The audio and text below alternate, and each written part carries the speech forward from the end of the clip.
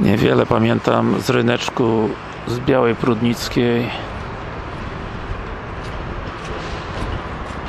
Ale miły powrót po dwudziestu kilku latach. 1800, 1989 teraz jest 2012 także prawie ćwierćwiecze